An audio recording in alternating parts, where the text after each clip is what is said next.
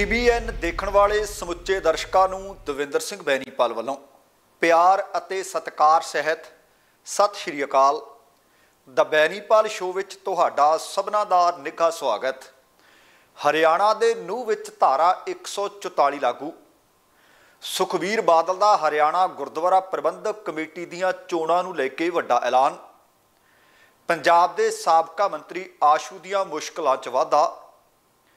ਭ੍ਰਿਸ਼ਟਾਚਾਰ ਸੰਬੰਧੀ ਮੁਕੱਦਮੇ ਦਰਜ ਕਰਨ ਤੋਂ ਬਾਅਦ ਭੜਕੇ ਪਟਵਾਰੀ 1 ਸਤੰਬਰ ਤੋਂ ਹੜਤਾਲ ਤੇ ਜਾਣ ਦੀ ਦਿੱਤੀ ਧਮਕੀ ਅਤੇ ਸੁਣਵਾਈ ਦੌਰਾਨ ਅਦਾਲਤ 'ਚ ਬ੍ਰਿਜ ਭੂਸ਼ਣ ਖਿਲਾਫ ਵੱਡੇ ਖੁਲਾਸੇ।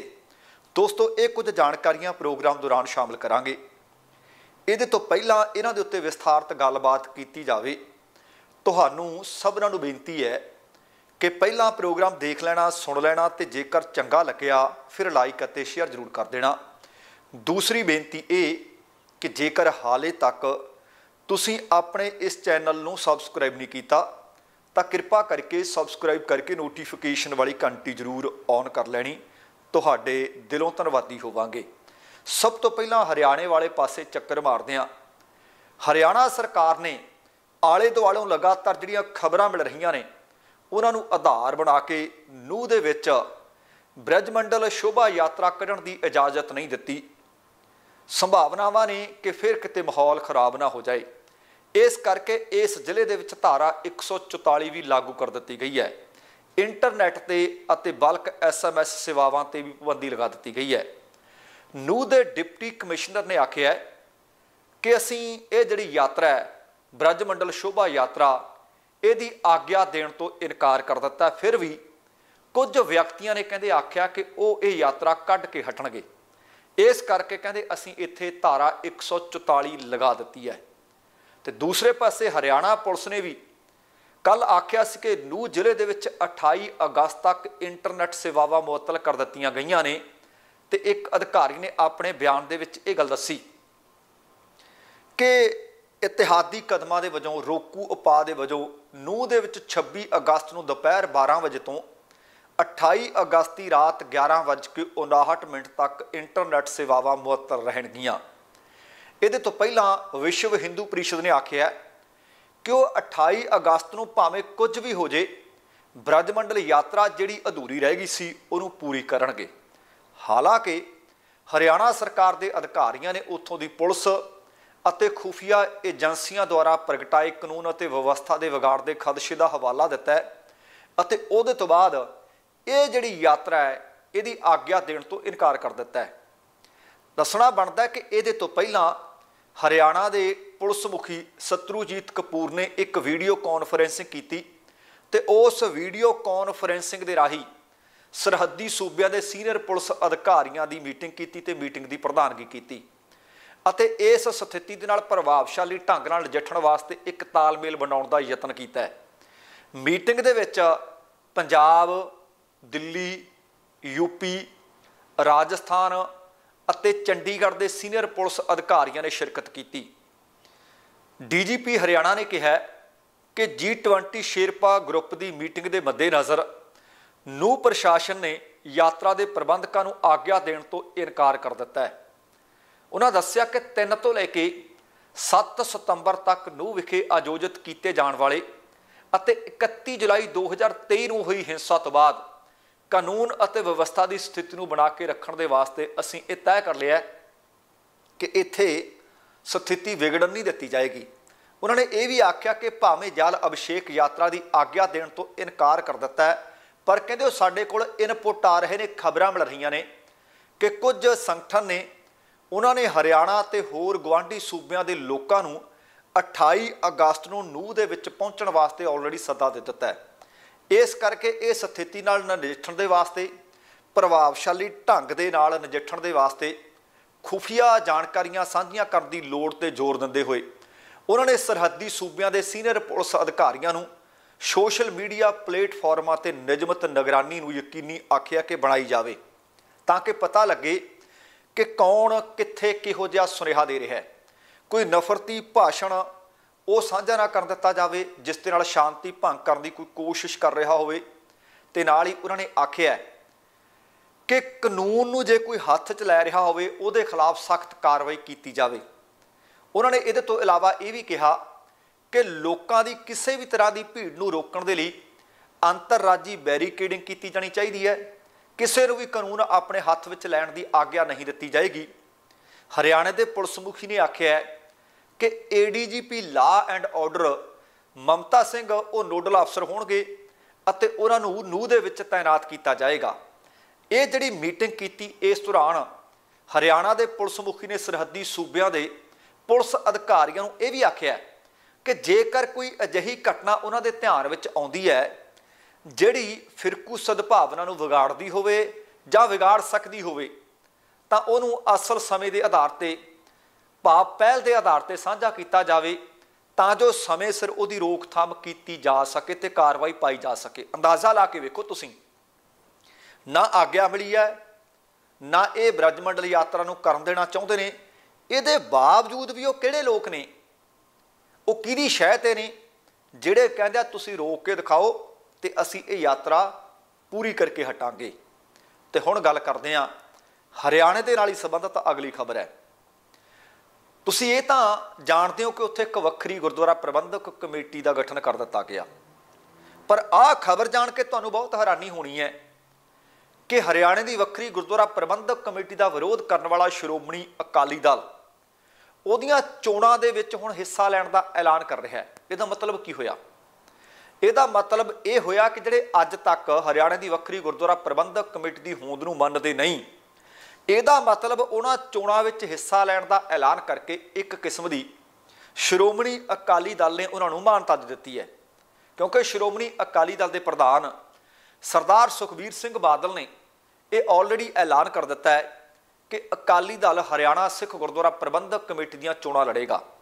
ਤੇ ਨਾਲ ਉਹਨਾਂ ਨੇ ਸੰਗਤਾਂ ਨੂੰ ਅਪੀਲ ਕੀਤੀ ਹੈ ਕਿ ਉਹ ਗੁਰਦੁਆਰਾ ਸਹਿਬਾਨਾਂ ਦੇ ਪ੍ਰਬੰਧਾਂ ਨੂੰ ਕਾਂਗਰਸੀ ਆਧੁਨਿਕ ਮਹੰਤਾਂ ਦੇ ਕੰਟਰੋਲ ਤੋਂ ਮੁਕਤ ਕਰਵਾਉਣ, ਉਹਨਾਂ ਭਾਜਪਾ ਦੀ ਮਦਦ ਦੇ ਨਾਲ ਕਹਿੰਦੇ ਇਸ ਵਿਵਸਥਾ ਤੇ ਕਬਜ਼ਾ ਕਰ ਲਿਆ ਹੁਣ ਇਹ ਉਹਨਾਂ ਨੂੰ ਮਹੰਤ ਦੱਸ ਰਿਹਾ ਜਿਹੜੇ ਇਸ ਵਕਤ ਕਾਬਜ਼ ਨੇ ਜਾਂ ਕਾਬਜ਼ ਹੋਣਾ ਚਾਹੁੰਦੇ ਆ ਜਦੋਂ ਮੀਡੀਆ ਦੇ ਨਾਲ ਸੁਖਵੀਰ ਸਿੰਘ ਬਾਦਲ ਗੱਲਬਾਤ ਕਰ ਰਹੇ ਸੀ ਤਾਂ ਉਹਨਾਂ ਨੇ ਕਿਹਾ ਕਿ ਪਾਰਟੀ ਇਹ ਚੋਣ ਆਪਣੇ ਚੋਣ ਨਿਸ਼ਾਨ ਤੇ ਲੜੇਗੀ। ਉਹਨਾਂ ਨੇ ਕਿਹਾ ਕਿ ਸਾਡਾ ਪੂਰਾ ਧਿਆਨ ਹਰਿਆਣਾ ਦੇ ਵਿੱਚ ਸਿੱਖਾਂ ਨੂੰ ਆਪਣੀ ਗੁਰਦੁਆਰਾ ਕਮੇਟੀ ਦਾ ਅਧਿਕਾਰ ਦਿਵਾਉਣਾ ਹੈ। ਤੇ ਨਾਲ ਹੀ ਮੌਜੂਦਾ ਕਮੇਟੀ ਨੂੰ ਉਹਨਾਂ ਮੌਜੂਦਾ ਪ੍ਰਬੰਧਕਾਂ ਤੋਂ ਛੁਟਕਾਰਾ ਦਿਵਾਉਣਾ ਵੀ ਹੈ, ਜਿਹੜੇ ਕਹਿੰਦੇ ਸਾਰੇ ਸਿਧਾਂਤਾਂ ਤੇ ਨਿਯਮਾਂ ਦੇ ਖਿਲਾਫ ਅਧਿਕਾਰਤ ਬੈਠਕਾਂ 'ਚ ਅਭੱਦਰ ਭਾਸ਼ਾ ਦੀ ਵਰਤੋਂ ਕਰਦੇ ਆ। ਤੁਹਾਨੂੰ ਵੀ ਪਤਾ ਹੈ ਕਿ ਬੀਤੇ ਦਿਨੀ ਇੱਕ ਮੀਟਿੰਗ ਦੇ ਵਿੱਚ ਕੀ ਕੁਝ ਹੋਇਆ ਸੀ। ਇਸ਼ਾਰਾ ਉਹਨਾਂ ਦਾ ਦਾਦੂਵਾਲ ਵੱਲ ਵੀ ਸੀ।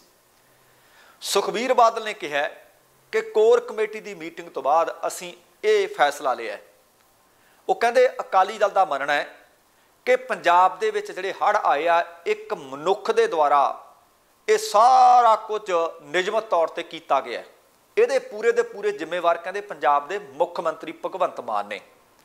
ਉਹਨਾਂ ਇਹ ਵੀ ਆਖਿਆ ਕਿ ਮੁੱਖ ਮੰਤਰੀ ਹੜ ਰੋਕਣ ਲਈ ਮੌਨਸੂਨ ਤੋਂ ਪਹਿਲਾਂ ਕਦਮ ਚੁੱਕਣ ਵਿੱਚ ਮੁਕੰਮਲ ਤੌਰ ਤੇ ਅਸਫਲ ਰਹੇ ਹੈ ਉਹ ਭਾਖੜਾ ਤੇ ਪੌਂਗ ਡੈਮਾਂ ਤੋਂ ਛੱਡੇ ਗਏ ਪਾਣੀ ਦਾ ਪ੍ਰਬੰਧ ਕਰਨ ਜਾਂ ਕਰਵਾਉਣ ਵਿੱਚ ਵੀ ਅਸਫਲ ਰਹੇ ਹੈ ਜਿਸ ਦਾ ਕਾਰਨ ਕਹਿੰਦੇ ਵੱਡਾ ਹਿੱਸਾ ਪੰਜਾਬ ਦਾ ਹੜ੍ਹਾਂ ਦੀ ਲਪੇਟ ਵਿੱਚ ਆ ਗਿਆ। ਉਹਨਾਂ ਇਹ ਮੰਗ ਕੀਤੀ ਹੈ ਕਿ ਜਿਹੜੇ ਹੜ੍ਹ ਪ੍ਰਭਾਵਿਤ ਕਿਸਾਨ ਤੇ ਮਜ਼ਦੂਰ ਨੇ, ਉਹਨਾਂ ਨੂੰ ਲੋੜੀਂਦਾ ਮੁਆਵਜ਼ਾ ਤੁਰੰਤ ਦਿੱਤਾ ਜਾਣਾ ਚਾਹੀਦਾ ਹੈ। ਉਹਨਾਂ ਆਖਿਆ ਕਿ ਸਰਕਾਰ ਦੇ ਵੱਲੋਂ ਜਾਰੀ ਕੀਤਾ ਗਿਆ 186 ਕਰੋੜ ਰੁਪਏ ਦਾ ਜਿਹੜਾ ਮੁਆਵਜ਼ਾ ਹੈ, ਉਹ ਦਰਅਸਲ ਕਿਸਾਨਾਂ ਦੇ ਜ਼ਖਮਾਂ ਦੇ ਉੱਤੇ ਲੋਨ ਛੜਕਣ ਵਾਲਾ ਹੈ। ਉਹਨਾਂ ਕਿਹਾ ਕਿ ਕੋਰ ਕਮੇਟੀ ਨੇ ਇਹ ਮੰਗ ਕੀਤੀ ਹੈ ਕਿ ਜਿਹੜੇ ਕਿਸਾਨਾਂ ਦੀ ਫਸਲ ਤਬਾਹ ਹੋ ਗਈ ਉਹਨਾਂ ਨੂੰ 50-50 ਹਜ਼ਾਰ ਰੁਪਏ ਪ੍ਰਤੀ ਏਕੜ ਮੁਆਵਜ਼ਾ ਦਿੱਤਾ ਜਾਵੇ। ਜਿਨ੍ਹਾਂ ਦੇ ਘਰ ਨੁਕਸਾਨੇ ਗਏ, ਉਹਨਾਂ ਨੂੰ 10 ਲੱਖ ਰੁਪਏ ਮੁਆਵਜ਼ਾ ਦਿੱਤਾ ਜਾਵੇ। ਜਿਨ੍ਹਾਂ ਦੇ ਜੀਆਂ ਦਾ ਨੁਕਸਾਨ ਹੋ ਗਿਆ, ਉਹਨਾਂ ਨੂੰ 25 ਲੱਖ ਰੁਪਏ ਪ੍ਰਤੀ ਜੀ ਦਿੱਤਾ ਜਾਵੇ। ਖੇਤ ਮਜ਼ਦੂਰਾਂ ਨੂੰ 20000 ਰੁਪਏ, ਦਧਾਰੂ ਪਸ਼ੂਆਂ ਦੇ ਨੁਕਸਾਨ ਲਈ 1 ਲੱਖ ਰੁਪਏ, ਹਰ ਬੱਕਰੀ ਦੇ ਨੁਕਸਾਨ ਲਈ 50000 ਰੁਪਏ ਦਾ ਮੁਆਵਜ਼ਾ ਸੁਖਬੀਰ ਬਾਦਲ ਸਾਹਿਬ ਕਹਿੰਦੇ ਦਿੱਤਾ ਜਾਵੇ। ਉਹਨਾਂ ਕਿਹਾ ਕਿ ਇਹਦੇ ਤੋਂ ਇਲਾਵਾ ਜਿਨ੍ਹਾਂ ਦੇ ਟਿਊਬਵੈਲ ਬੋਰ ਬੈਠ ਗਏ ਨੇ, ਉਹਨਾਂ ਨੂੰ 2-2 ਲੱਖ ਰੁਪਏ ਦਾ ਮੁਆਵਜ਼ਾ ਦਿੱਤਾ ਜਾਣਾ ਚਾਹੀਦਾ ਹੈ। ਉਹਨਾਂ ਇਹ ਵੀ ਆਖਿਆ ਕਿ ਜਿਨ੍ਹਾਂ ਨੇ ਜ਼ਮੀਨ ਠੇਕੇ ਤੇ ਲਈ ਹੋਈ ਸੀ ਤੇ ਜਿਹੜੇ ਦਰਿਆਵਾਂ ਦੇ ਨਾਲਿਆਂ ਦੇ ਨੇੜੇ ਜਾਂ ਕੰਢਿਆਂ ਦੇ ਨੇੜੇ ਸੀ, ਜਿਹੜੀ ਸਰਕਾਰੀ ਜ਼ਮੀਨ ਠੇਕੇ ਤੇ ਲੈ ਕੇ ਖੇਤੀ ਕਰ ਰਹੇ ਸੀ, ਮੁਆਵਜ਼ਾ ਉਹਨਾਂ ਨੂੰ ਵੀ ਦਿੱਤਾ ਜਾਵੇ। ਉਹਨਾਂ ਨੇ ਇਹ ਵੀ ਆਖਿਆ ਕਿ ਕਿਸਾਨਾਂ ਨੇ ਆਪ ਦਰਿਆਵਾਂ ਤੇ ਨਾਲਿਆਂ ਵਿੱਚ ਪਏ 60 ਪਾੜ ਪੂਰੇ ਨੇ ਤੇ ਇਹਨਾਂ ਕਿਸਾਨਾਂ ਦੀ ਮਸ਼ੀਨਰੀ ਡੀਜ਼ਲ ਅਤੇ ਦੇ ਰੇਤੇ ਦੇ ਥੈਲਿਆਂ ਤੇ ਆਏ ਖਰਚ ਦਾ ਮੁਆਵਜ਼ਾ ਵੀ ਸਰਕਾਰ ਉਹਨਾਂ ਨੂੰ ਦੇਵੇ। ਉਹਨਾਂ ਨੇ ਇਹ ਵੀ ਆਖਿਆ ਕਿ ਕਿਸਾਨਾਂ ਨੂੰ ਉਹਨਾਂ ਦੇ ਖੇਤਾਂ ਦੇ ਵਿੱਚ ਆਈ ਮਿੱਟੀ ਅਤੇ ਰੇਤਾ ਇਕੱਠਾ ਕਰਕੇ ਵੇਚਣ ਦੀ ਆਗਿਆ ਵੀ ਸਰਕਾਰ ਵੱਲੋਂ ਦਿੱਤੀ ਜਾਵੇ। ਤੇ ਜਦੋਂ ਉਹਨਾਂ ਨੂੰ ਪੁੱਛਿਆ ਗਿਆ ਕਿ ਪੰਜਾਬ ਦਾ ਗਵਰਨਰ ਕਹਿੰਦਾ ਹੈ ਕਿ ਪੰਜਾਬ ਦੇ ਵਿੱਚ ਅਸੀਂ ਰਾਸ਼ਟਰਪਤੀ ਰਾਜ ਲਾ ਦੇਾਂਗੇ ਉਹ ਕਹਿੰਦੇ, ਅਸੀਂ ਇਸ ਗੱਲ ਦੇ ਬਿਲਕੁਲ ਖਿਲਾਫ ਹਾਂ, ਕਿਉਂਕਿ ਸਾਡੀ ਪਾਰਟੀ ਕਹਿੰਦੇ ਆਨੰਦਪੁਰ ਸਾਹਿਬ ਦੇ ਮਤੇ ਦੀ ਹਮਾਇਤੀ ਹੈ। ਤੇ ਉਹ ਮਤਾ ਕੀ ਹੈ ਕਿ ਸੂਬਿਆਂ ਨੂੰ ਵੱਧ ਅਧਿਕਾਰ ਦੇਣ ਦੀ ਗੱਲ ਕਰਦਾ, ਉਹ ਕਹਿੰਦੇ ਇਹ ਬਿਲਕੁਲ ਗਲਤ ਹੈ। ਤੇ ਹੁਣ ਗੱਲ ਕਰਦੇ ਹਾਂ ਪੰਜਾਬ ਦੇ ਸਾਬਕਾ ਕੈਬਨਿਟ ਮੰਤਰੀ ਭਾਰਤ ਭੂਸ਼ਣ ਆਸ਼ੂ ਜੀ ਦੀ। ਪੰਜਾਬ ਦੇ ਵਿੱਚ ਇੱਕ ਟੈਂਡਰ ਘੁਟਾਲਾ ਚਰਚਾ ਦੇ ਵਿੱਚ ਹੈ। ਬੀਤੀ 24 ਤਰੀਕ ਨੂੰ ਭਾਵ 24 ਅਗਸਤ ਨੂੰ ਐਨਫੋਰਸਮੈਂਟ ਡਾਇਰੈਕਟੋਰੇਟ ਭਾਵ ਈਡੀ ਨੇ ਪੰਜਾਬ ਦੇ ਵਿੱਚ 25 ਥਾਵਾਂ ਤੇ ਛਾਪੇਮਾਰੀ ਕੀਤੀ। ਜਿਨ੍ਹਾਂ ਵਿੱਚ ਭਾਰਤ ਭੂਸ਼ਣ ਆਸ਼ੂ, ਜਿਹੜੇ ਪੰਜਾਬ ਦੇ ਸਾਬਕਾ ਖੁਰਾਕ ਤੇ ਸਿਵਲ ਸਪਲਾਈ ਮੰਤਰੀ ਨੇ, ਇਹਨਾਂ ਦੇ ਨਾਲ ਹੀ ਰਮਨ ਬਾਲਾ ਸੁਬਰਾਮਨੀਅਮ, ਸਾਬਕਾ ਚੇਅਰਮੈਨ ਲੁਧਿਆਣਾ ਇੰਪਰੂਵਮੈਂਟ ਟਰਸਟ ਅਤੇ ਉਹਨਾਂ ਦੇ ਕੁਝ ਹੋਰ ਸਹਿਯੋਗੀਆਂ ਦੇ ਰਹਿائشੀ ਕੰਪਲੈਕਸ ਦੇ ਵਿੱਚ ਛਾਪੇਮਾਰੀਆਂ ਹੋਈਆਂ ਨੇ। ਅਸਲ ਦੇ ਵਿੱਚ ਈਡੀ ਨੇ ਪੰਜਾਬ ਸਰਕਾਰ ਦੀ ਟਰਾਂਸਪੋਰਟੇਸ਼ਨ ਅਤੇ ਲੇਬਰ ਕਾਰਟੇਜ ਪਾਲਿਸੀ 2021 ਦੇ ਸਬੰਧ ਦੇ ਵਿੱਚ ਆਈਪੀਸੀ 1860 ਅਤੇ ਪੀਸੀ ਐਕਟ 1988 ਦੀਆਂ ਵੱਖ-ਵੱਖ ਧਾਰਾਵਾਂ ਦੇ ਤਹਿਤ ਲੁਧਿਆਣਾ ਦੇ ਵਿਜੀਲੈਂਸ ਬਿਊਰੋ ਵੱਲੋਂ ਦਰਜ ਕੀਤੀ ਗਈ ਐਫ ਆਈ ਆਰ ਦੇ ਆਧਾਰ ਤੇ ਮਨੀ ਲਾਂਡਰਿੰਗ ਦੇ ਨਾਲ ਸੰਬੰਧਿਤ ਹੁਣ ਜਾਂਚ ਸ਼ੁਰੂ ਕਰ ਦਿੱਤੀ ਹੈ, ਜਿਸ ਦੇ ਕਾਰਨ ਭਾਰਤ ਭੂਸ਼ਣ ਆਸ਼ੂ ਅਤੇ ਉਹਨਾਂ ਦੇ ਸਹਿਯੋਗੀਆਂ ਦੀਆਂ ਮੁਸ਼ਕਲਾਂ 'ਚ ਵਾਧਾ ਹੋ ਗਿਆ ਹੈ। ਦੋਸ਼ ਇਹਨਾਂ ਤੇ ਇਹ ਨੇ ਕਿ ਟੈਂਡਰ ਉਹਨਾਂ ਠੇਕੇਦਾਰਾਂ ਨੂੰ ਅਲਾਟ ਕੀਤੇ ਗਏ ਜਿਨ੍ਹਾਂ ਨੇ ਰਾਕੇਸ਼ ਕੁਮਾਰ ਸਿੰਗਲਾ, ਜਿਹੜੇ ਚੇਅਰਮੈਨ ਸੀਵੀਸੀ ਖੁਰਾਕ ਅਤੇ ਸਿਵਲ ਸਪਲਾਈ ਦੇ ਰਾਹੀਂ ਭਾਰਤ ਭੂਸ਼ਣ ਆਸ਼ੂ ਤੱਕ ਪਹੁੰਚ ਕੀਤੀ ਸੀ, ਛੋਟੇ ਠੇਕੇਦਾਰਾਂ ਨੂੰ ਅੱਖੋਂ ਪਰੋਖੇ ਕਰ ਦਿੱਤਾ ਗਿਆ। ਸਿਰਫ 20-25 ਬੰਦੇ ਸੀ ਜਿਨ੍ਹਾਂ ਨੂੰ ਇਹ ਫਾਇਦਾ ਦਵਾਇਆ ਗਿਆ। ਇਸ ਪੱਖਪਾਤ ਕਰਕੇ ਅਲਾਟੀ ਠੇਕੇਦਾਰਾਂ ਨੇ ਨਜਾਇਜ਼ ਫਾਇਦਾ ਉਠਾਇਆ, ਜਿਸ ਨਾਲ ਸਰਕਾਰੀ ਖਜ਼ਾਨੇ ਨੂੰ ਵੱਡਾ ਨੁਕਸਾਨ ਹੋਇਆ। ਇਹਦੇ ਤੋਂ ਇਲਾਵਾ ਐਲਆਈਟੀ ਘੁਟਾਲੇ ਦੇ ਨਾਲ ਸੰਬੰਧਿਤ ਐਫਆਈਆਰ ਵਿੱਚ ਜਾਲੀ ਵਿਅਕਤੀਆਂ ਨੂੰ ਸਰਚ ਦੇ ਉਦੇਸ਼ ਲਈ ਪਲਾਟਾਂ ਦੀ ਅਲਾਟਮੈਂਟ ਦੇ ਸੰਬੰਧ ਵਿੱਚ ਧਿਆਨ ਵਿੱਚ ਰੱਖਿਆ ਗਿਆ। ਅਧਿਕਾਰੀਆਂ ਨੇ ਇਹ ਵੀ ਦੱਸਿਆ ਕਿ ਜਿਹੜੀ ਸਰਚ ਮੁਹਿੰਮ ਕੀਤੀ ਗਈ, ਉਹਦੇ ਦੌਰਾਨ ਤਲਾਸ਼ੀ ਲੈਣ ਵਾਲੇ ਵਿਅਕਤੀਆਂ ਦੇ ਕਈ ਬੈਂਕ ਖਾਤਿਆਂ ਦੇ ਵਿੱਚ ਪਈ 4 ਕਰੋੜ ਤੇ 81 ਲੱਖ ਰੁਪਏ ਦੀ ਰਕਮ ਜਿਸ ਦੀ ਪਹਿਲੀ ਨਜ਼ਰੇ ਅਪਰਾਧ ਦੀ ਕਮਾਈ ਵਜੋਂ ਪਛਾਣ ਕੀਤੀ ਗਈ ਹੈ ਕਿ ਇਹ 2 ਨੰਬਰ ਦਾ ਪੈਸਾ ਹੈ। ਇਹ ਸਾਰੇ ਪੈਸੇ ਨੂੰ ਫਰੀਜ਼ ਕਰ ਦਿੱਤਾ ਗਿਆ ਹੈ। ਇਹਦੇ ਤੋਂ ਇਲਾਵਾ ਜਾਣਕਾਰੀ ਮਿਲੀ ਹੈ ਕਿ 1 ਕਰੋੜ ਤੇ 54 ਲੱਖ ਰੁਪਏ ਦੀਆਂ ਪੰਜ ਅਚਲ ਜਾਇਦਾਦਾਂ ਸਮੇਤ ਚਾਰ ਬੈਂਕ ਲੋਕਰ ਨੇ ਉਹ ਵੀ ਜ਼ਬਤ ਕਰ ਲਏ ਗਏ ਨੇ। ਵੱਖ-ਵੱਖ ਕੰਪਲੈਕਸਾਂ ਤੋਂ ਵੱਖ-ਵੱਖ ਅਪਰਾਧਿਕ ਦਸਤਾਵੇਜ਼, ਡਿਜੀਟਲ ਉਪਕਰਣ ਅਤੇ ਲਗਭਗ 30 ਲੱਖ ਰੁਪਏ ਦੀ ਭਾਰਤੀ ਕਰੰਸੀ ਵੀ ਜ਼ਬਤ ਕੀਤੇ ਜਾਣ ਦੀ ਖਬਰ ਹੈ। ਅਧਿਕਾਰੀਆਂ ਨੇ ਇਹ ਜਾਣਕਾਰੀ ਦਿੱਤੀ ਹੈ ਕਿ ਹਾਲੇ ਜਾਂਚ ਜਾਰੀ ਹੈ।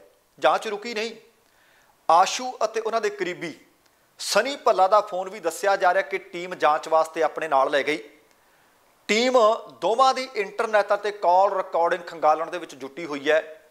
ਦੱਸਣਾ ਬਣਦਾ ਕਿ ਟੈਂਡਰ ਘੁਟਾਲਾ, ਛੋਟਾ-ਮੋਟਾ ਘੁਟਾਲਾ ਨਹੀਂ 2000 ਕਰੋੜ ਰੁਪਏ ਦਾ ਦੱਸਿਆ ਜਾ ਰਿਹਾ ਹੈ।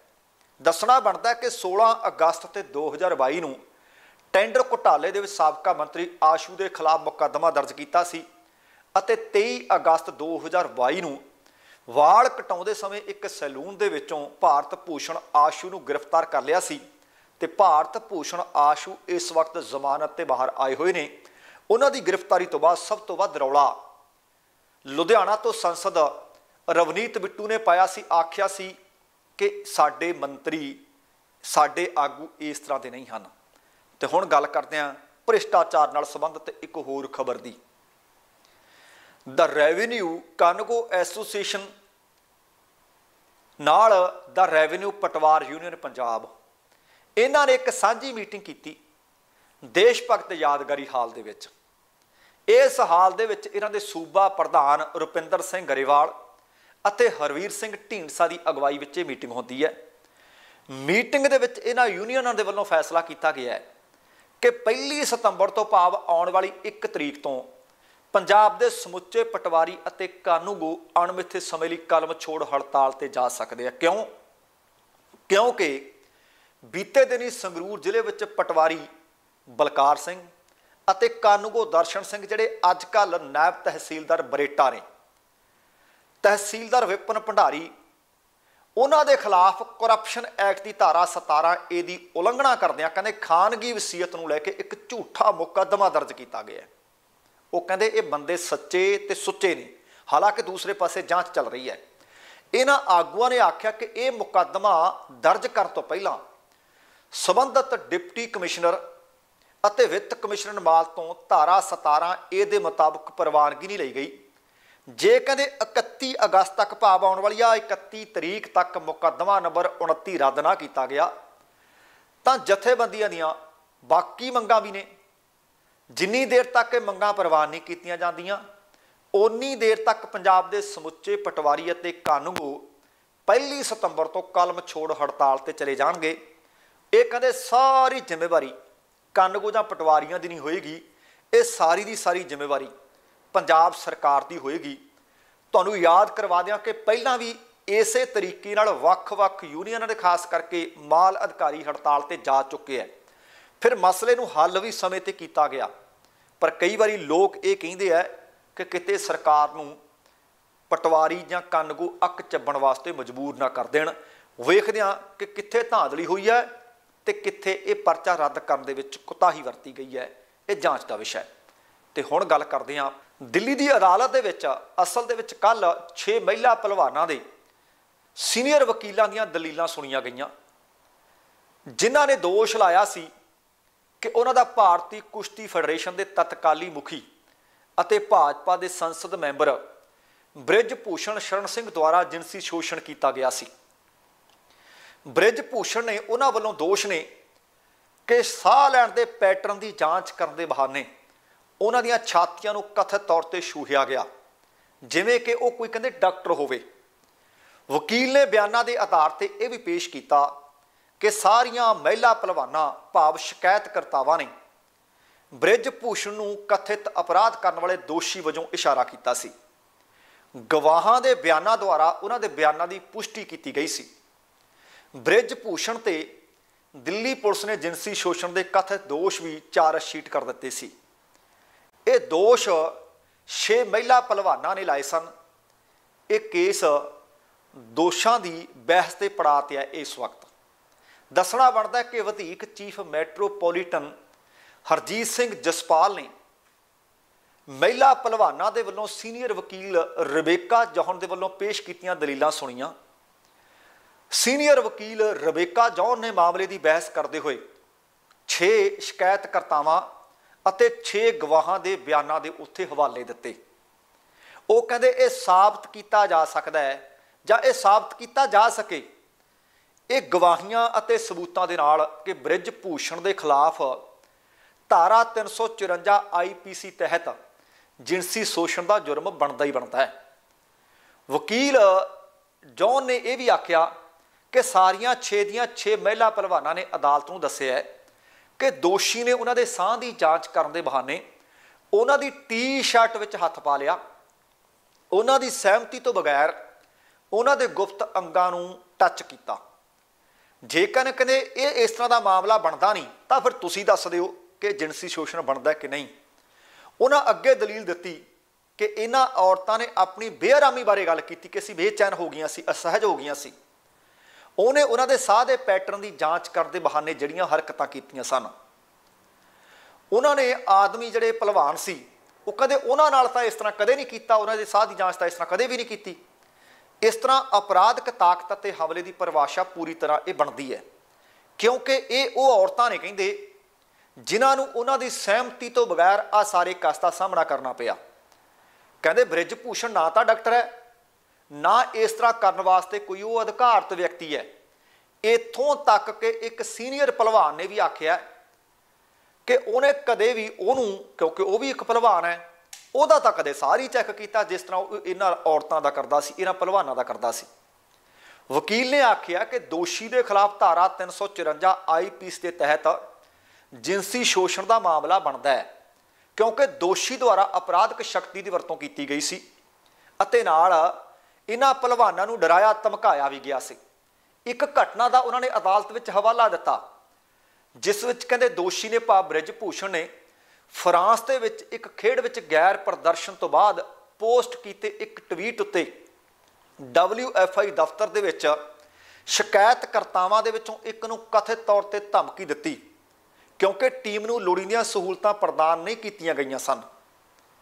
ਉਹਨਾਂ 6 ਮਹਿਲਾ ਪਹਿਲਵਾਨਾਂ ਦੇ ਬਿਆਨ ਵੀ ਅਦਾਲਤ ਵਿੱਚ ਪੜ੍ਹ ਕੇ ਸੁਣਾਏ, ਜਿਨ੍ਹਾਂ ਨੇ Mongolia, Kazakhstan, Jakarta, Bulgaria, Lucknow, Bilari ਅਤੇ ਨਵੀਂ ਦਿੱਲੀ ਦੇ ਵਿੱਚ ਬ੍ਰਿਜ ਭੂਸ਼ਣ ਦੁਆਰਾ ਅਣਉਚਿਤ ਸਰੀਰਕ ਸ਼ੋਸ਼ਣ ਦਾ ਦੋਸ਼ ਉਹਦੇ ਤੇ ਲਾਇਆ ਹੋਇਆ ਹੈ। ਵਕੀਲ ਨੇ ਦਲੀਲ ਦਿੱਤੀ ਕਿ ਉਹ ਮੈਡਲ ਜੇਤੂ ਨੇ ਦੁਨੀਆ 'ਚ ਉਹਨਾਂ ਦਾ ਨਾਮ ਹੈ? ਉਹਨਾਂ ਕੋਲ ਸਾਰਾ ਕੁਝ ਗਵਾਉਣ ਵਾਸਤੇ ਹੀ ਹੈ। ਝੂਠੀ ਸ਼ਿਕਾਇਤ ਦਰਜ ਕਰਕੇ ਦੱਸੋ ਉਹਨਾਂ ਨੂੰ ਹਾਸਲ ਕੀ ਹੋਣਾ, ਜਿਹੜੀ ਦਾ ਇਹ ਗੱਲ ਕਰ ਰਹੇ ਨੇ। ਉਹਨਾਂ ਇੱਕ ਮਹਿਲਾ ਪਹਿਲਵਾਨ ਨੂੰ ਕਾਰਨ ਦੱਸੋ, ਨੋਟਿਸ ਜਾਰੀ ਕਰਕੇ ਧਮਕਾਉਣ ਦੀਆਂ ਤਿੰਨ ਘਟਨਾਵਾਂ ਦਾ ਵੀ ਅਦਾਲਤ ਦੇ ਵਿੱਚ ਜ਼ਿਕਰ ਕੀਤਾ। ਵਕੀਲ ਨੇ ਇਹ ਵੀ ਦੱਸਿਆ ਕਿ ਉਹਨਾਂ ਪਹਿਲਵਾਨਾਂ ਨੇ ਆਪਣੇ ਬਿਆਨ ਦਰਜ ਕਰਵਾਉਣ ਦੇ ਸਮੇਂ ਨਿਗਰਾਨ ਕਮੇਟੀ ਦੇ ਆਚਰਣ ਦੇ ਉੱਤੇ ਵੀ ਸਵਾਲ ਖੜੇ ਕੀਤੇ। ਉਹ ਕਹਿੰਦੇ ਮਹਿਲਾ ਪਹਿਲਵਾਨਾਂ ਦੇ ਬਿਆਨ ਆਦਮੀ ਮੈਂਬਰਾਂ ਦੀ ਹਾਜ਼ਰੀ ਵਿੱਚ ਦਰਜ ਕੀਤੇ ਗਏ ਜਦੋਂ ਉਹ ਆਪਣੀਆਂ ਹੱਡ ਬੀਤੀਆਂ ਸੁਣਾ ਰਹੀਆਂ ਸੀ ਕਿ ਇੱਥੋਂ ਇੱਥੋਂ ਸਾਨੂੰ ਟੱਚ ਕੀਤਾ ਗਿਆ, ਕਹਿੰਦੇ ਇਹ ਆਦਮੀ ਹੱਸ ਰਹੇ ਸੀ। ਅਸੀਂ ਉਹਨਾਂ ਪਹਿਲਵਾਨਾਂ ਨੇ ਆਖਿਆ ਕਿ ਉਹਨਾਂ ਦੇ ਸਾਹਮਣੇ ਆਪਣੇ ਆਪ ਨੂੰ ਸਹਿਜ ਨਹੀਂ ਸੀ, ਅਸਹਿਜ ਮਹਿਸੂਸ ਕਰ ਰਹੀਆਂ ਸੀ। ਉਹਨਾਂ ਨੇ ਇਹ ਵੀ ਆਖਿਆ ਕਿ ਬਿਆਨ ਦੀ ਰਿਕਾਰਡਿੰਗ ਵੀ ਸਹੀ ਢੰਗ ਦੇ ਨਾਲ ਕੀਤੀ ਨਹੀਂ ਗਈ ਵੀਡੀਓਗ੍ਰਾਫੀ ਵੀ ਸਹੀ ਢੰਗ ਨਾਲ ਕੀਤੀ ਨਹੀਂ ਗਈ। ਜਦੋਂ ਉਹ ਦੋਸ਼ ਲਾਉਂਦੀਆਂ ਸੀ, ਉਸ ਵਕਤ ਇਹ ਰਿਕਾਰਡਿੰਗ ਤੇ ਵੀਡੀਓਗ੍ਰਾਫੀ ਬੰਦ ਕਰ ਦਿੱਤੀ ਜਾਂਦੀ ਸੀ। ਉਹਨਾਂ ਨੇ ਇੱਕ ਮਹਿਲਾ ਪ੍ਰਵਾਨ ਦੇ ਬਿਆਨ ਦਾ ਹਵਾਲਾ ਦਿੱਤਾ, ਜਿਸ ਦੇ ਵਿੱਚ ਕਿਹਾ ਗਿਆ ਸੀ ਕਿ ਉਹਦੀ ਭੈਣ ਦਾ ਵੀ ਸਰੀਰਕ ਸ਼ੋਸ਼ਣ ਕੀਤਾ ਗਿਆ। ਦੋਸ਼ੀ ਨੇ ਉਸ ਤੇ ਢਿੱਡ ਨੂੰ ਛੂਇਆ ਉਹ ਬੇਚੈਨ ਲੱਗ ਰਹੀ ਸੀ। ਬਿਆਨ ਦੇ ਵਿੱਚ ਇਹ ਵੀ ਕਿਹਾ ਗਿਆ ਕਿ ਮੈਂ ਕਦੇ ਨਹੀਂ ਸੁਣਿਆ ਕਿ ਉਹਨੇ ਕਿਸੇ ਮੇਲ ਪਹਿਲਵਾਨ ਨੂੰ ਉਸ ਤਰੀਕੇ ਨਾਲ ਉਸ ਥਾਂ ਤੋਂ ਟੱਚ ਕੀਤਾ ਹੋਵੇ ਜਾਂ ਫਿਰ ਉਹਨਾਂ ਦੇ ਸਾਹ ਦੀ ਜਾਂਚ ਕੀਤੀ ਹੋਵੇ। ਉਹਦੇ ਪਤੀ ਦੇ ਬਿਆਨ ਨੇ WFI ਦਫ਼ਤਰ ਦੇ ਵਿੱਚ ਵਾਪਰੀਆਂ ਦੋ ਘਟਨਾਵਾਂ ਦੀ ਫਿਰ ਪੁਸ਼ਟੀ ਵੀ ਕੀਤੀ। ਦੂਸਰੇ ਸ਼ਿਕਾਇਤਕਰਤਾ ਦੇ ਬਿਆਨ ਦਾ ਵੀ ਅਦਾਲਤ ਵਿੱਚ ਹਵਾਲਾ ਦਿੱਤਾ ਗਿਆ। ਜੋ ਦੋ ਘਟਨਾਵਾਂ ਦੀ ਗੱਲ ਕਰਦਾ ਹੈ, ਉਹਨਾਂ ਕਿਹਾ ਕਿ ਮੋਢੇ ਤੇ ਸੱਟ ਤੋਂ ਬਾਅਦ ਨਵੀਂ ਦਿੱਲੀ 'ਚ WFI ਦਫ਼ਤਰ ਦੇ ਵਿੱਚ ਬ੍ਰਿਜ ਭੂਸ਼ਣ ਨਾਲ ਉਹ ਮੁਲਾਕਾਤ ਕਰਨ ਜਾਂਦੇ ਆ ਉਹਨੇ ਸਾਈ ਕਾਰਡ ਜਾਰੀ ਕਰਨ ਦੀ ਬੇਨਤੀ ਕੀਤੀ ਤਾਂ ਕਿ ਉਹਦਾ ਇਲਾਜ ਮੁਫਤ ਵਿੱਚ ਹੋ ਸਕੇ। ਬਿਆਨ ਮੁਤਾਬਕ ਉਹਨੇ ਕਿਹਾ ਕਿ ਫਿਕਰ ਨਾ ਕਰੋ ਖਰਚੇ ਦੀ। ਖਰਚਾ ਤਾਂ ਤੁਹਾਡਾ ਮੈਂ ਹੀ ਚੁੱਕਣ ਨੂੰ ਤਿਆਰ ਹਾਂ, ਪਰ ਤੁਸੀਂ ਮੈਨੂੰ ਚੁੱਕੋ। ਤੁਸੀਂ ਮੇਰੇ ਨਾਲ ਸਰੀਰਕ ਸੰਬੰਧ ਬਣਾ ਲਓ ਤੇ ਖਰਚੇ ਦੀ ਪਰਵਾਹ ਨਾ ਕਰੋ। ਉਸ ਤੇ ਬਿਆਨ ਦੀ ਪੁਸ਼ਟੀ ਇੱਕ ਹੋਰ ਗਵਾਹ ਨੇ ਵੀ ਕੀਤੀ ਹੈ, ਜਿਸ ਨੇ ਬ੍ਰਿਜ ਭੂਸ਼ ਨੂੰ ਇੰਜ ਕਰਦਿਆਂ ਕਹਿੰਦਿਆਂ ਆਪ ਦੇਖਿਆ। ਇੱਕ ਕੋਚ ਉਹ ਸ਼ਿਕਾਇਤਕਰਤਾ ਦੇ ਨਾਲ WFI ਦੇ ਦਫ਼ਤਰ ਵਿੱਚ ਸੀ, ਉਹਨੇ ਸ਼ਿਕਾਇਤਕਰਤਾ ਦੇ ਬਿਆਨ ਦੀ ਪੁਸ਼ਟੀ ਵੀ ਕੀਤੀ ਹੈ। ਵਕੀਲ ਨੇ ਇੱਕ ਹੋਰ ਸ਼ਿਕਾਇਤਕਰਤਾ ਦੇ ਬਿਆਨ ਦਾ ਵੀ ਅਦਾਲਤ ਵਿੱਚ ਹਵਾਲਾ ਦਿੱਤਾ ਜਿਸ ਨੇ ਲਖਨਊ ਦੇ ਵਿੱਚ ਵਾਪਰੀ ਇੱਕ ਘਟਨਾ ਦਾ ਜ਼ਿਕਰ ਕੀਤਾ। ਉਹਨੇ ਦੋਸ਼ ਲਾਇਆ ਕਿ ਗਰੁੱਪ ਫੋਟੋ ਸ਼ੂਟ ਦੇ ਦੌਰਾਨ ਜਦੋਂ ਉਸ ਦੇ ਕੋਲ ਖੜੀ ਸੀ, ਤਾਂ ਬ੍ਰਿਜ ਭੂਸ਼ਣ ਨੇ ਉਸ ਨਾਲ ਧੱਕਾ ਮੁੱਕੀ ਕੀਤੀ। ਉਸ ਦੇ ਸਿਰ ਤੇ ਹੱਥ ਮਾਰਿਆ ਗਿਆ, ਸੱਟ ਮਾਰੀ ਗਈ। ਉਹਨੇ ਮੈਨੂੰ ਮੇਰੇ ਮੋਢੇ ਉੱਤੋਂ ਫੜ ਕੇ ਆਪਣੇ ਨਾਲ ਧੱਕਾ ਦੇ ਦਿੱਤਾ ਤੇ ਨਾਲ ਖਿੱਚ ਕੇ ਲਾ ਲਿਆ। ਉਸ ਤੋਂ ਬਾਅਦ ਉਹ ਗਰੁੱਪ ਫੋਟੋ ਲਈ ਪਹਿਲੀ ਕਤਾਰ ਵਿੱਚ ਆ ਗਈ। ਇਸ ਘਟਨਾ ਨੂੰ ਇੱਕ ਰੈਫਰੀ ਨੇ ਦੇਖਿਆ ਤੇ ਇੱਕ ਹੋਰ ਰੈਫਰੀ ਨੇ ਵੀ ਇਹ ਗੱਲ ਬਿਲਕੁਲ ਤਸਦੀਕ ਕੀਤੀ ਹੈ। ਇੱਕ ਹੋਰ ਸ਼ਿਕਾਇਤ ਦੇ ਵਿੱਚ ਇਹ ਮਾਰਚ 2021 ਦੀ ਸ਼ਿਕਾਇਤ ਹੈ ਕਿ ਜੂਨੀਅਰ ਚੈਂਪੀਅਨਸ਼ਿਪ ਸੀ। ਇਹ ਜੂਨੀਅਰ ਚੈਂਪੀਅਨਸ਼ਿਪ ਬਿਲਾਰੀ ਕਰਨਾਟਕ ਵਿੱਚ ਵਾਪਰੀ ਸੀ। ਉੱਥੇ ਇਹ ਘਟਨਾ ਹੋਈ ਹੈ। ਉਹਨਾਂ ਨੇ ਦੱਸਿਆ ਕਿ ਉਹਨੇ ਮੈਨੂੰ ਮੇਰਾ ਨਾਮ ਲੈ ਕੇ ਬੁਲਾਇਆ। ਅਤੇ ਮੈਂ ਬ੍ਰਿਜ ਭੂਸ਼ਣ ਦੇ ਕੋਲ ਚਲੀ ਗਈ। ਉਹਨੇ ਮੈਨੂੰ ਫੋਟੋ ਖਿੱਚਣ ਲਈ ਕਿਹਾ ਤੇ ਉਹਨੇ ਮੈਨੂੰ ਹੱਥ ਨਾਲ ਫੜ ਕੇ ਆਪਣੇ ਨਾਲ ਲਾ ਲਿਆ ਤੇ ਕੋਲ ਖਿੱਚ ਲਿਆ ਤੇ ਜਦੋਂ ਕਿ ਮੈਂ ਇਹ ਬਿਲਕੁਲ ਨਹੀਂ ਸੀ ਚਾਹੁੰਦੀ, ਜਿਸ ਤਰੀਕੇ ਨਾਲ ਉਹ ਮੈਨੂੰ ਖਿੱਚ ਕੇ ਆਪਣੇ ਨਾਲ ਲਾ ਰਿਹਾ ਸੀ। ਵਕੀਲ ਨੇ 6ਵੀਂ ਸ਼ਿਕਾਇਤ ਦਾ ਜ਼ਿਕਰ ਵੀ ਕੀਤਾ। ਉਹਦਾ ਵੀ ਹਵਾਲਾ ਮਾਨਯੋਗ ਅਦਾਲਤ 'ਚ ਦਿੱਤਾ। ਜਿਸ ਨੇ ਮਈ ਅਤੇ ਜੂਨ 2012 ਦੇ ਵਿੱਚ ਜੂਨੀਅਰ ਚੈਂਪੀਅਨਸ਼ਿਪ ਦੇ ਦੌਰਾਨ 2012 ਵਿੱਚ ਸਰੀਰਕ ਸ਼ੋਸ਼ਣ ਦਾ ਜ਼ਿਕਰ ਕੀਤਾ। ਉਹਨਾਂ ਦੱਸਿਆ ਕਿ ਉਹ ਆਪਣੇ ਕਮਰੇ ਵਿੱਚ ਸੀ, ਆਪਣੇ ਬਿਸਤਰੇ ਤੇ ਬੈਠੀ ਸੀ। ਉਹਨੇ ਮੈਨੂੰ ਮੰਜੇ ਤੇ ਬੈਠਣ ਲਈ ਆਖਿਆ, ਮੈਂ ਫਿਰ ਕੀ ਕੀਤਾ? ਮੈਂ ਉਹਦੇ ਕੋਲ ਬਿਸਤਰੇ ਤੇ ਜਾ ਕੇ ਪੈਰਾਂ ਵਾਲੇ ਪਾਸੇ ਬੈਠ ਗਈ। ਕਹਿੰਦੇ ਉਹ ਮੇਰੇ ਨੇੜੇ ਆਇਆ। ਮੈਨੂੰ ਘੁੱਟ ਕੇ ਜੱਫੀ ਪਾ ਲਈ। ਮੈਂ ਧੱਕਾ ਦੇ ਕੇ ਉੱਥੋਂ ਖੜੀ ਹੋ ਗਈ ਤੇ ਉੱਥੋਂ ਭੱਜ ਕੇ ਬਾਹਰ ਆ ਗਈ ਤੇ ਇਹ ਸਾਰੀ ਦੀ ਸਾਰੀ ਘਟਨਾ ਮੈਂ ਆਪਣੀ ਮਾਂ ਨੂੰ ਦੱਸੀ। ਸ਼ਿਕਾਇਤਕਰਤਾ ਨੇ ਬਿਆਨ ਦੇ ਵਿੱਚ ਕਿਹਾ ਕਿ ਇਹ ਜਿਹੜੀ ਘਟਨਾ ਉਹਦੇ ਨਾਲ ਵਾਪਰੀ ਸੀ, ਉਹਨੂੰ ਰੂਮ 'ਚ ਬੁਲਾਇਆ ਸੀ, ਘੁੱਟ ਕੇ ਜੱਫੀ ਪਾ ਲਈ ਸੀ, ਆਪਣੇ ਨਾਲ ਪੈਣ ਵਾਸਤੇ ਮਜਬੂਰ ਕਰ ਦਿੱਤਾ ਸੀ। ਇਸ ਘਟਨਾ ਤੋਂ ਉੱਭਰਨ ਦੇ ਵਿੱਚ ਉਹ ਕਹਿੰਦੇ ਮੈਨੂੰ 4 ਤੋਂ 5 ਸਾਲ ਲੱਗੇ। ਉਹ ਮੈਨੂੰ ਕਹਿੰਦੇ ਨਿਯਮਤ ਤੌਰ ਤੇ ਫੋਨ ਕਰਦਾ ਰਹਿੰਦਾ ਸੀ। ਫੋਨ ਤੇ ਮੈਨੂੰ ਤੰਗ ਕਰਦਾ ਰਹਿੰਦਾ ਸੀ।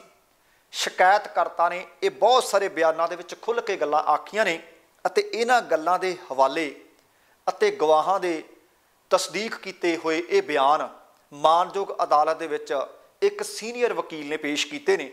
ਦੇਖਦੇ ਹਾਂ ਕਿ ਅੱਗੇ ਚੱਲ ਕੇ ਇਸ ਕੇਸ ਦਾ ਬਣਦਾ ਕੀ ਹੈ। ਦੋਸਤੋ, ਇਹ ਸੀ ਕੁੱਲ ਮਿਲਾ ਕੇ ਆਪਣਾ ਅੱਜ ਦਾ ਪ੍ਰੋਗਰਾਮ। ਉਮੀਦ ਹੈ ਤੁਹਾਨੂੰ ਚੰਗਾ ਲੱਗਿਆ ਹੋਵੇਗਾ। ਜੇਕਰ ਪ੍ਰੋਗਰਾਮ ਚੰਗਾ ਲੱਗਿਆ ਤਾਂ ਕਿਰਪਾ ਕਰਕੇ ਲਾਈਕ ਅਤੇ ਸ਼ੇਅਰ ਜ਼ਰੂਰ ਕਰ ਦੇਣਾ ਤੇ ਜੇਕਰ ਹਾਲੇ ਤੱਕ ਤੁਸੀਂ ਆਪਣੇ ਇਸ ਚੈਨਲ ਨੂੰ ਸਬਸਕ੍ਰਾਈਬ ਨਹੀਂ ਕੀਤਾ, ਤਾਂ ਕਿਰਪਾ ਕਰਕੇ ਸਬਸਕ੍ਰਾਈਬ ਕਰਕੇ ਨੋਟੀਫਿਕੇਸ਼ਨ ਵਾਲੀ ਘੰਟੀ ਜ਼ਰੂਰ ਔਨ ਕਰ ਲੈਣੀ। ਤੁਹਾਡੇ ਦਿਲੋਂ ਧੰਨਵਾਦੀ ਹੋਵਾਂਗੇ। ਸਮਾਂ ਸਮਾਪਤ ਹੈ। ਜਾਣ ਤੋਂ ਪਹਿਲਾਂ ਕਹਾਂਗਾ, ਜ਼ਿੰਦਗੀ। ਜ਼ਿੰਦਾਦਲੀ ਦਾ ਨਾਮ ਹੈ। ਦਵਿੰਦਰ ਸਿੰਘ ਬੈਨੀਪਾਲ ਨੂੰ ਆਗਿਆ ਦਿਓ।